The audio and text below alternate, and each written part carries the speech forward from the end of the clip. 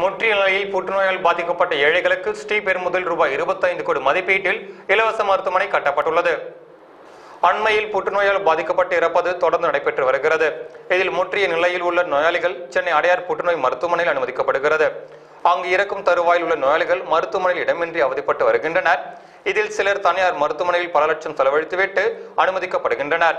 இந்நிலையில் முற்றிய நிலையில் உள்ள ஏழை புற்று நோயாளிகளுக்கு பயன்பெறும் வகையில் தமிழகத்திலேயே முதன்முறையாக காஞ்சிபுரம் மாவட்டம் ஸ்ரீபெருமுதூர் பகுதியில் தனியார் அறக்கட்டளை சார்பில் நான்கு புள்ளி ஆறு ஏக்கர் நிலப்பரப்பில் ஐம்பது படுக்கைகளுடன் கூடிய மருத்துவமனை ரூபாய் இருபத்தைந்து கோடி மதிப்பீட்டில் கட்டப்பட்டுள்ளது. இம்மருத்துவமனையில் தங்கும் அறை உணவு மற்றும் மருந்துகள் இலவசமாக வழங்கப்படுகிறது. மேலும் சென்னை அடையார் புற்றுநோய் மருத்துவமனையின் தலைவர் டாக்டர் வி சாந்தா அவர்களிடம் தனியார் அறக்கட்டளை நிறுவனர் சுகல்சாந்த் ஜெயின் அவர்கள் மருத்துவமனையை ஒப்படைத்துள்ளார். இப்போ வந்து கேன்சர் இன்ஸ்டியூட்டில் வந்து எல்லா பேஷண்ட்ஸ்க்கும் நம்ம ட்ரீட்மெண்ட் கொடுக்கணும். ட்ரீட்மெண்ட் கொடுத்து சில பேருக்கு நல்லா ஆகிறதில்லை. அந்த மாதிரி நல்லா ஆகாத இருக்கிறவங்களுக்கு கஷ்டப்படுறாங்க. அந்த மாதிரி இருக்கிறவங்க வீட்டில் தான் பார்த்துக்க வேண்டியிருக்கு.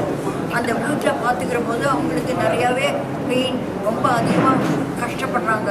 அந்த மாதிரி கஷ்டம் இல்லாமல் பெயின் இல்லாத அவங்கள வச்சுக்கிறதுக்கு இந்த ஹாஸ்பிட்டல் ஏற்படுத்தியிருக்கு. இந்த மாதிரி ஹாஸ்பிட்டலில் நிறையாவே அவங்கள நல்லா பார்த்து அவங்களுக்கு சுகாதாரம் எல்லாம் நல்லா பண்ணிட்டு நல்லா வந்து ஸ்பிரிச்சுவல் சப்போர்ட் அந்த மாதிரி கேர் சந்தோஷமாக அவங்க இருக்கிற மாதிரி வைக்கணும்.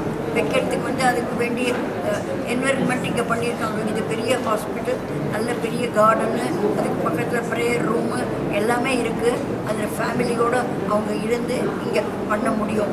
இது மாதிரி இப்போ இந்த மாதிரி ஹாஸ்பிட்டல் நமக்கு சென்னையில் இல்லை. அது வந்து இந்த கேன்சர் இன்ஸ்டியூட்டோட பண்ணினதுக்கு இந்த நாங்கள் இந்த சிங்கிள்